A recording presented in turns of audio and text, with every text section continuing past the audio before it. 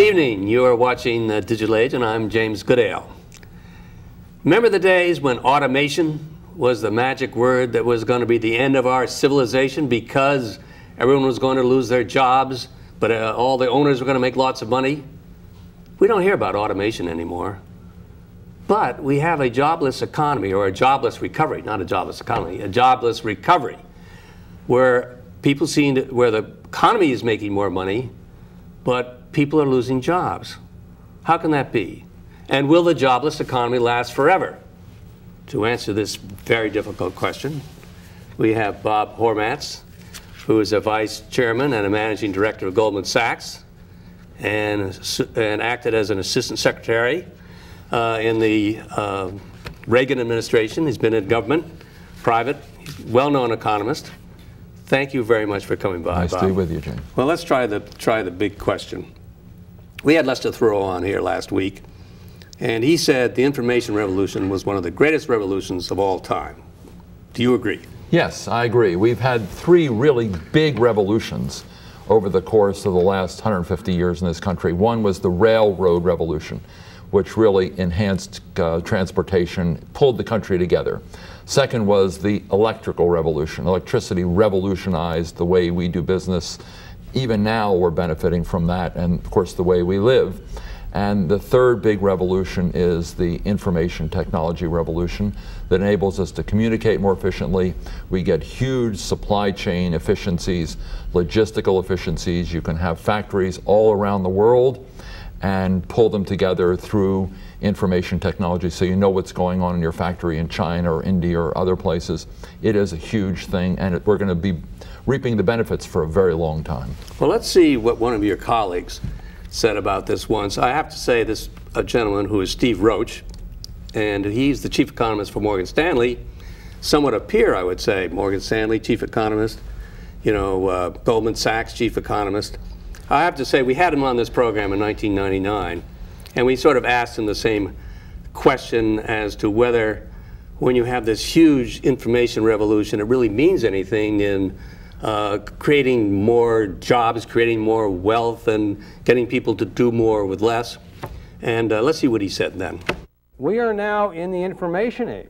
Totally different construct. It's not tangible, it's intangible. The product is information, it's not goods, it's not food. And the factory, believe it or not, is something that takes place right between the very mortal confines uh, of uh, your two ears, the human brain. Now, to make the leap that what we've done on the factory or the farm is the same type of thing that we can do in the mortal confines of the human brain, courtesy of spectacular new technologies, in my opinion, is a leap. We may get there someday, we're not there yet, and it's going to be very, very tough to do to generate productivity in these white-collar, knowledge-intensive, service-type um, uh, uh, applications. Now, the key, the key sentence there is he sees it's going to be very difficult, almost impossible. I'm adding that, but that was his view at that period of time, to create productivity, which is that people can do uh, more work uh, with, uh, you can do more work with less people. The best example I can think of is in my law firm. Uh, we used to have one secretary for each lawyer. Now we have four secretaries for each lawyer. I mean, uh, we used to have, yeah, four secretaries for each lawyer. So we created productivity.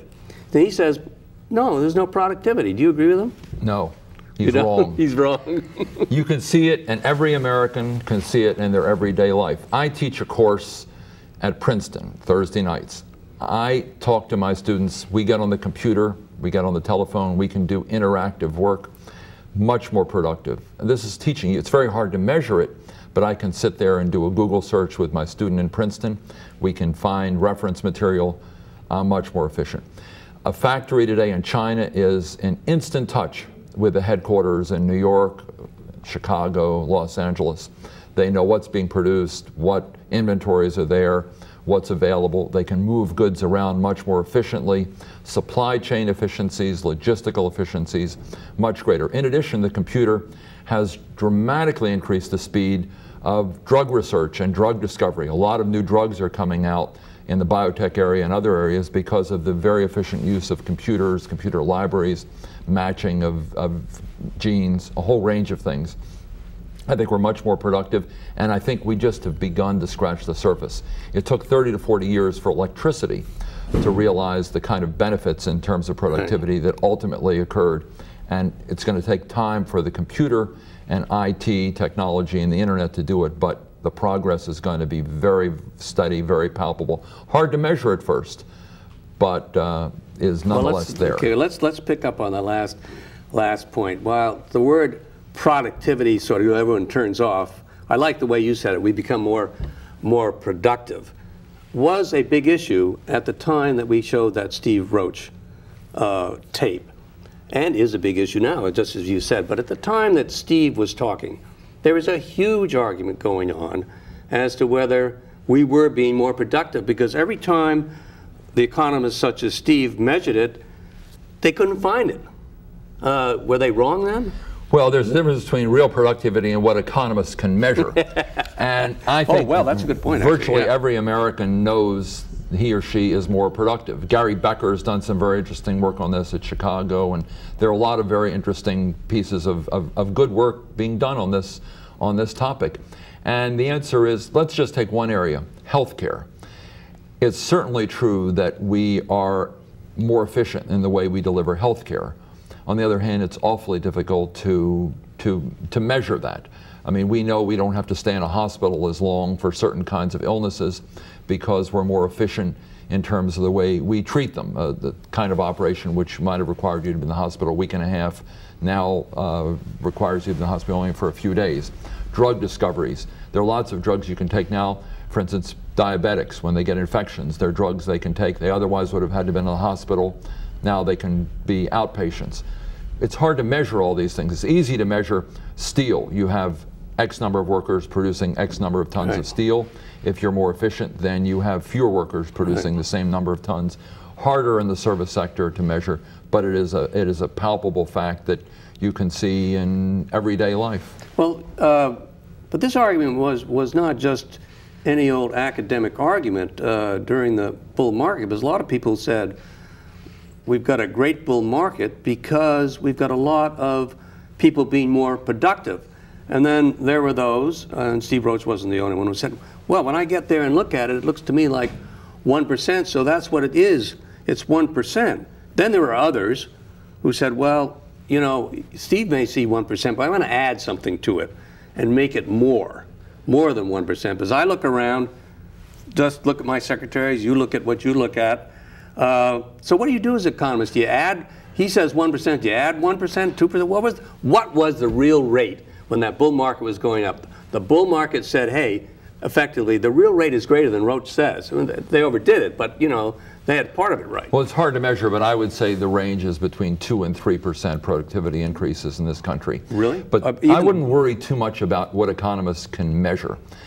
I would look at how businesses operate. Right. And I bet you there is not a CEO today who you could talk to Right. who would say that his company or her company were not a Right. lot more efficient because of the way they use technology, the way they use information technology in particular.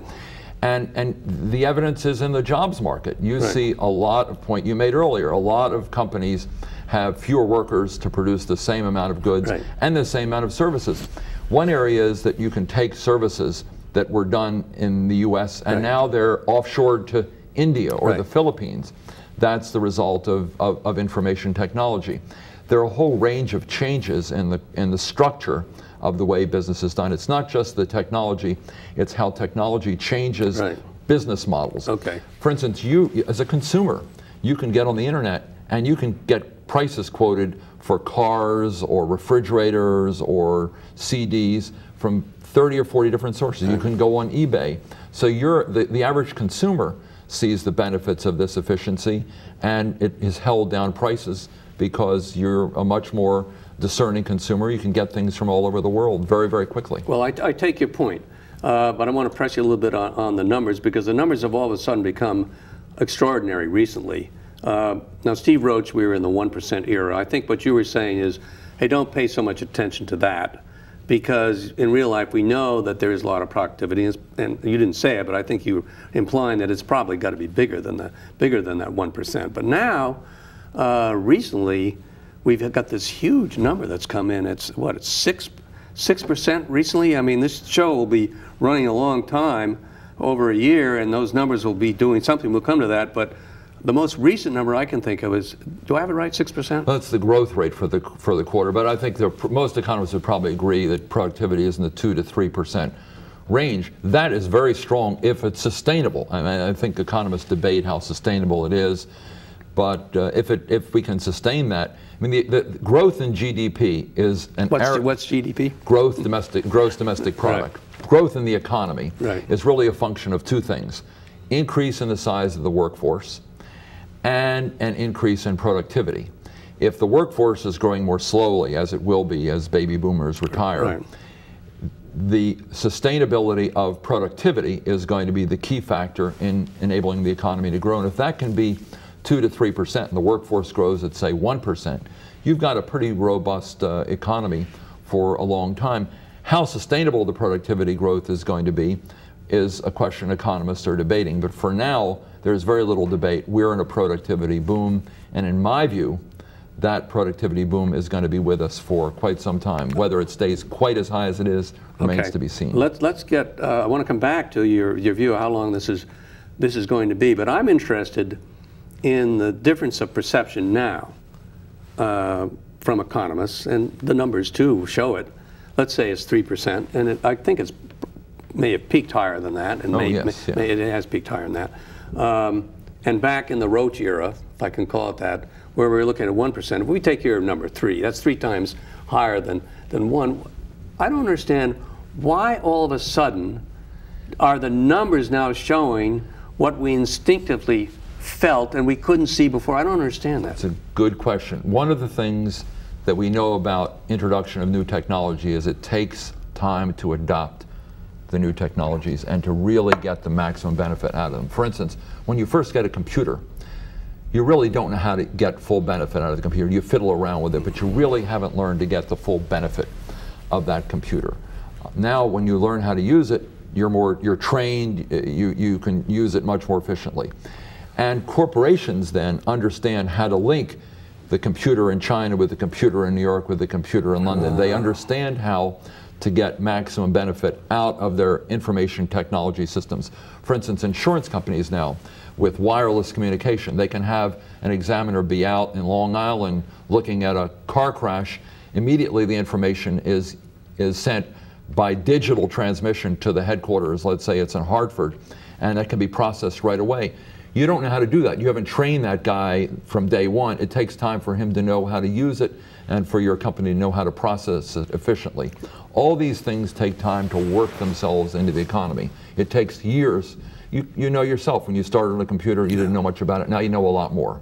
It's the same thing. It's a learning curve process. Oh, so it's a, a, a trained uh, a trained workforce. It's training, adaptation, integration.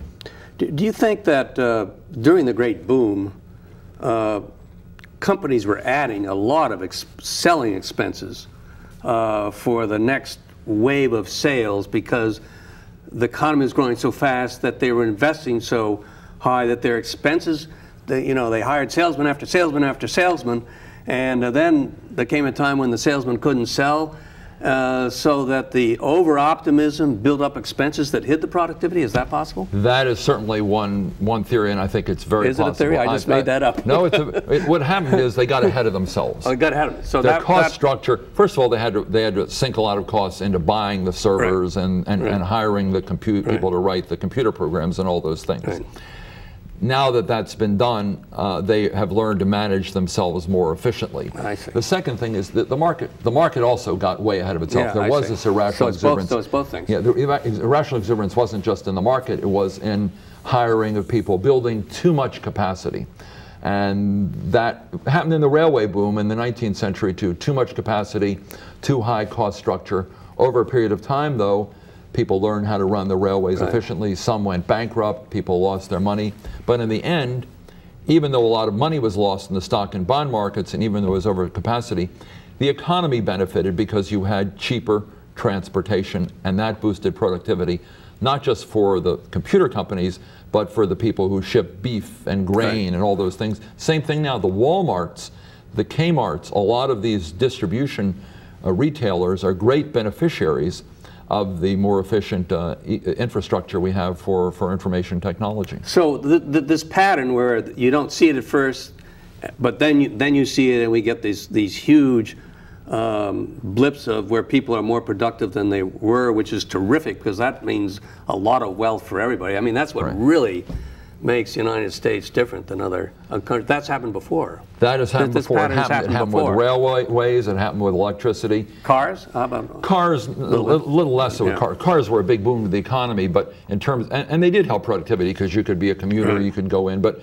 the, the big the big productivity surges have been as a result of the railway Right. boom and the electricity boom, and Right. now the information technology. the- it's different, but the, just like railways, they enabled you to move goods around more efficiently. The IT boom enables you to move information around more efficiently, efficiently and to be more creative and more rapid in the way you assimilate information and do research and do other things. Well, this number that we're talking about, this new number, the precise number isn't as important as you point out. That is, this new, is it perhaps understated too?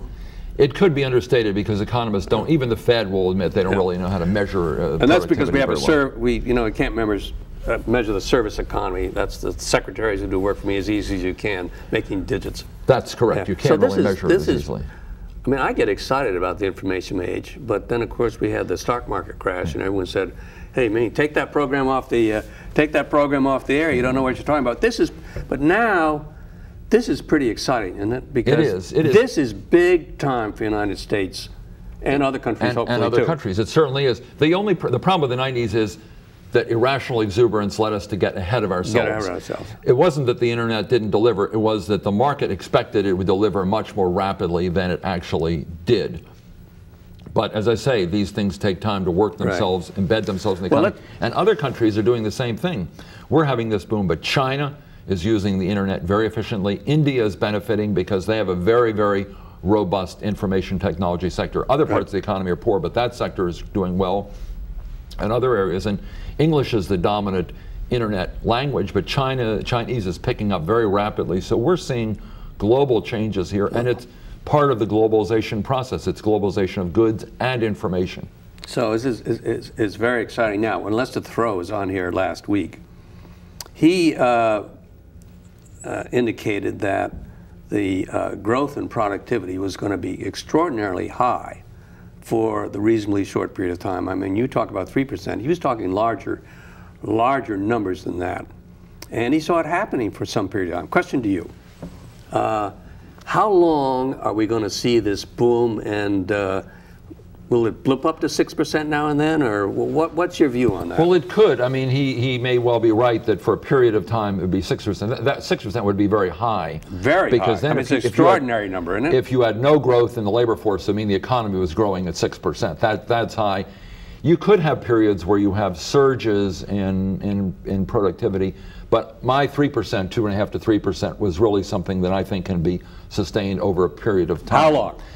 I think you could get it for three, four, five years of, of very uh, substantial improvement gains. Quarter to quarter, it could vary. The economy Right. is notoriously difficult to measure quarter to quarter, but That's it's, that's exciting. it's embedded in what we're doing. Every company now is using information technology to be more productive, to be more efficient, Right. to be more global, and and virtually everyone is integrating new uses of the computer into their research, into the way they manage their logistics and the way they manage their supply chains. It's becoming part of the economy. That's the good news. But isn't the other side of the coin is if you get this huge increase in people being productive, that uh, if the economy just pokes along at a reasonable but not as good a grade, why everyone's making money who owns the computers, but the people as a whole have less jobs, and the, we have a jobless we have a jobless recovery as we've been having for the last three years. Yes, we have, and, and, and part of it is certainly improvement in productivity, which means you can produce the same amount of goods Right. with fewer workers. Right. But there are other changes. This is mostly the case in the manufacturing sector where we've had a weak Yeah. job market, negative job market. There are other factors. One, people are spending more of their consumable income on services than manufactured goods. In 1979, the average consumer spent 50% of his or her money on manufactured Right. goods. Now it's 40%. Second, there are these technological changes that we've been talking about, productivity enhancing. Third, the economy has been relatively weak. Fourth, the average corporation is very cautious about adding new workers because they're trying to strengthen their balance sheets. They have very little pricing power in this economy because of excess capacity uh, and, and globalization. So they're very careful about hiring new people. And also, there is the problem of that, that import competition is strengthening in the manufacturing sector, and we've got to rise to meet the occasion. So there are a lot of reasons why manufacturing jobs have been very weak. he says he says that uh, you know you look at this split between being productive and for all the reasons you say the economy sort of poking along really not at the same speed that the computer is is moving and the job force declines that that means we're not going to have nirvana as you and I were just talking about. I think I agree with you. We're, we're going to have deflation, which uh, some people might say, hell, that's almost the same as depression, recession.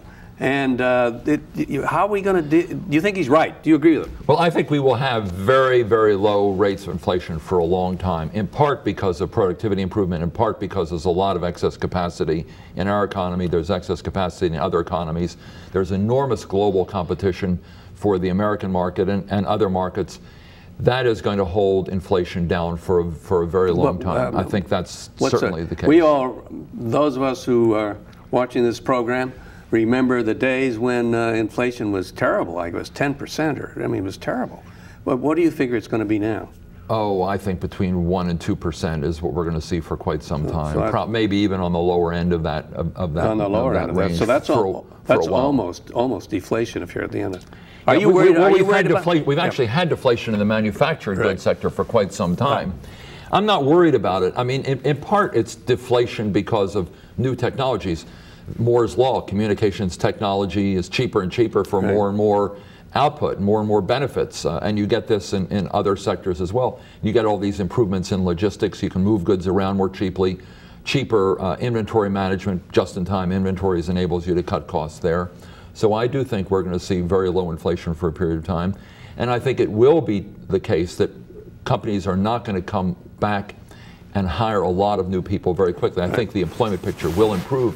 But don't forget, you have to hire 150,000 people a month just to keep up with new entrants into the labor force. And we're not even doing that at, Yeah, at the moment. yeah. So but we have that's- we've got a lot of- the interesting tough. thing about the American economy is it's a churning economy. Uh, virtually every quarter, we create and destroy roughly 7 million jobs. We create a little fewer, more jobs than we destroy. Right. But in that range, it's a very rapidly changing economy. The difference now is that some people find themselves permanently displaced because their company just stops producing as much steel or offshores the steel. So they have to go from the steel area or the auto Right. area to other sectors that require retraining. So it's a more painful adjustment for the average American than just working for his steel company, his shift's laid off, then it comes back when the economy grows and he has his old job back. There's much more churning in the economy in the job market than Well, you before. sound like you may be a little more optimistic uh, than Mr. Thurow, who also thinks that because this imbalance that we've talked about and you've elaborated on um, is serious, that he would he'd spend a lot. He, he I think he'd even have a, a larger budget deficit. Hope I've got him right because he'd like to spend more money now, not. Uh, we're not talking about tax. Just would like to spend more money, sort of like the New Deal. Right now, a great big, huge investment of, of bucks. He thinks that would be a great idea. What, do, you, I- I- what do you think? uh, we have a similar view. My view is that the big tax cut bills that we've seen are insufficiently front end loaded and excessively back end loaded. In other words, out years. In other They're- words, because uh, every year we're getting a tax break, except, Yeah, except uh, yeah, rather than all at once, it's not as Yeah, good. we're going to have very big deficits for a very long time. I would have preferred to have bigger deficits in the short term Right. and far smaller deficits over the long term we probably won't need the stimulus.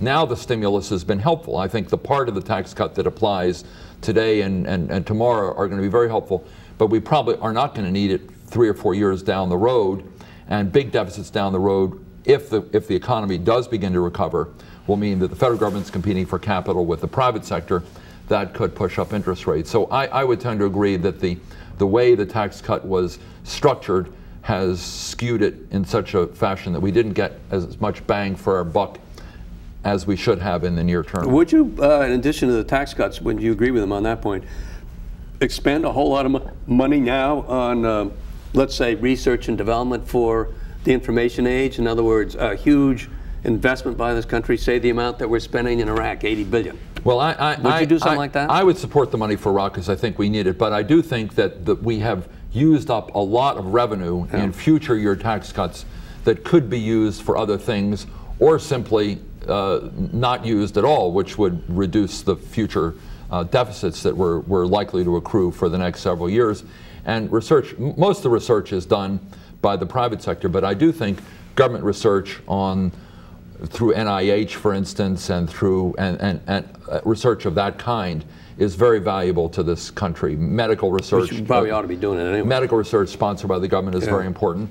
And the other thing that we, we really have neglected is the hard infrastructure of this country. There's been very little money going into public infrastructure, bridges, uh, and, and other kinds of things, and, and we're letting them deteriorate. So we're building up, we're accruing a bill in that area as well. So I think we gave away a lot of budgetary resources for longer term tax cuts that we could have used for shorter term stimulus and for some investments in the future, Well, for instance, agree. in medicine. Uh, he's a well-known Democrat. Uh, What do you consider? I don't want to. I'm sort of a pro free market Democrat. Pro- a pro-free Demo- market. That's right. free- I, I believe free market I believe in the market, but I believe the government shouldn't mess the market up Right. with a string of chronic deficits down the road, which will mean that interest rates are likely to rise and crowds the private sector out. We're financing this war, this aftermath of the war, in a way that we have never done before, and I think we're getting into big trouble down Yeah. the road. Every war in the past, Civil War, World War One, World War Two, we've raised taxes and cut domestic spending to make room in the budget for national security requirements. This time we've had tax cuts, increased domestic spending, increased spending on security, and we're, it's going to catch up with us, and it will adversely affect the private sector All right, down the now road. we come to the end. I'm going to ask you the, the key question here. Uh, will we have the jobless recovery forever? Or if you don't want to deal with that whole question, how long will we have a jobless recovery? I think employment is going to begin to pick up gradually. I don't think we will see a spurt in employment, but I do think companies, as the economy grows over the next several quarters, are going to begin to hire people. So you're more. I'm, I'm, I'm cautiously optimistic. I don't think employment's going to come back strong, but I think it will begin to come back toward the middle of next year when it, if interest rates go up and the benefits of the tax cuts begin to peter out the trajectory may slow down, but for the next few quarters, I think there will be an improvement. Thank you very much Thank for you. coming by, Bob Hormats. Good to be with you, Jim. And thank you very much for coming by. Come by next week and learn more about the digital age. For the digital age, I am James Goodale. Good night.